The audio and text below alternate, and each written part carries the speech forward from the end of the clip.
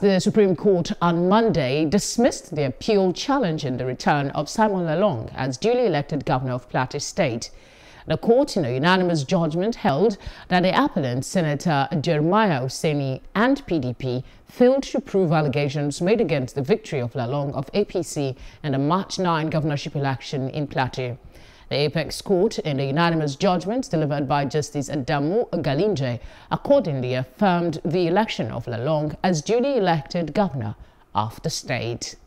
Meanwhile, Governor Simon Lalong of Plateau has commended judiciary for its impartiality leading to his victory at the Supreme Court on Monday and urged the people to pray for peace and stability and development in the state. Lalong, mm-hmm. in a statement issued by his Director of Press and Public Affairs on Monday in Jos, dedicated the victory to God and the people of the state. He appealed to the opposition to join hands with him in developing the state and actualizing projects and programs that would entrench lasting legacies for the people. The governor said he was confident of victory at the court because he engaged all stakeholders in his campaign and delivered his campaign promises during his first tenure.